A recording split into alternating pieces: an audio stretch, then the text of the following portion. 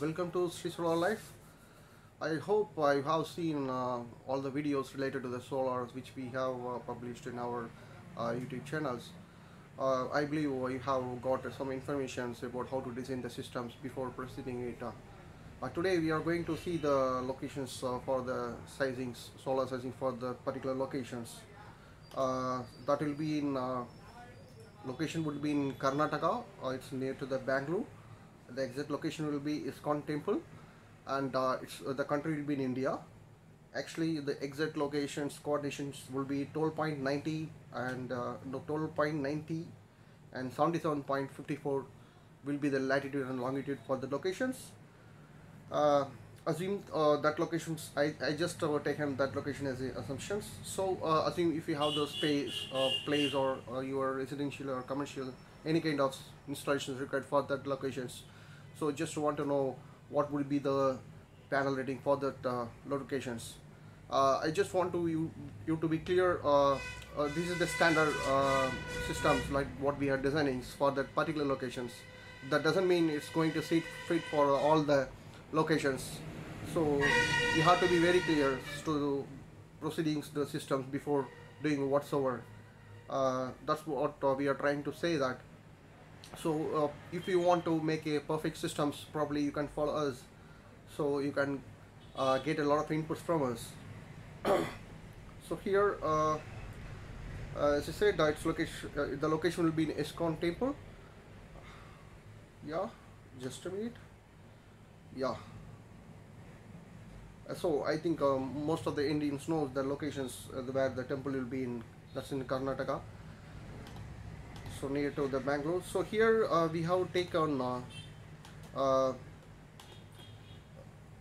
here we have taken the units like uh, assume if you have the uh, any kind of uh, could be a residential home near to that or I have taken that location is the exact assume if you have the facility I mean if you have the home there or any other commercial there near to the locations.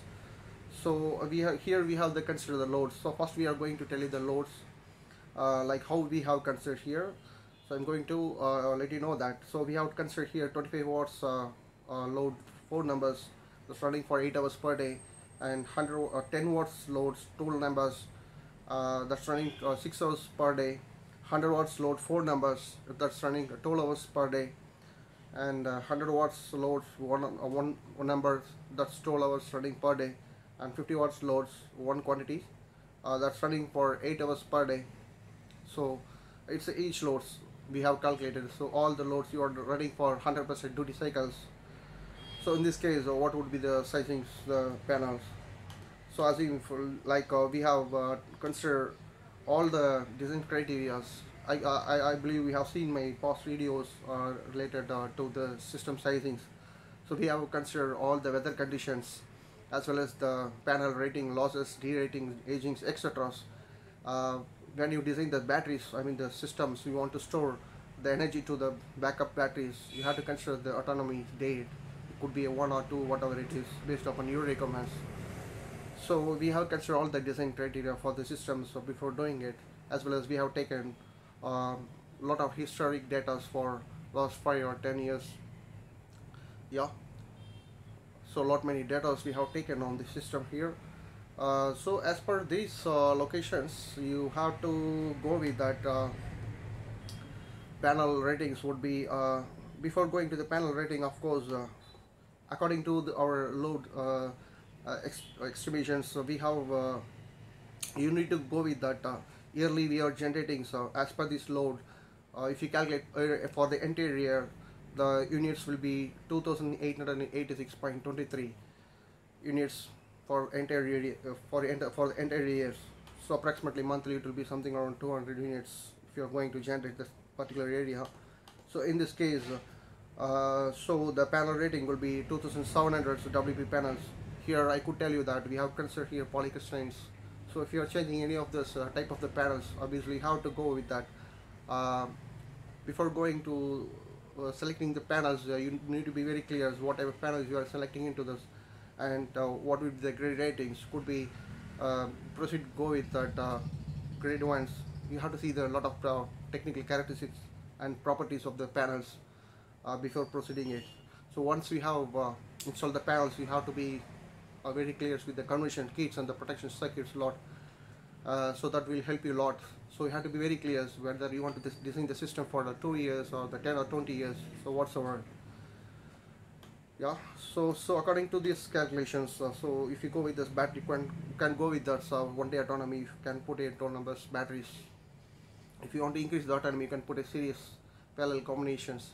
I, then you can increase the number of autonomies you want to achieve.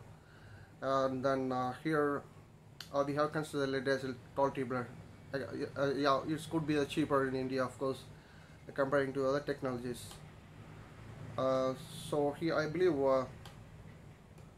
yeah we have uh, we have covered the, all the points here for these locations I believe. So if you have any concerns or if you have any questions uh, probably you can put an email to srisolarlife at uh, gmail.com as well as uh, uh, many people have already been in this um, working in the systems or into this uh, solar related jobs or something else.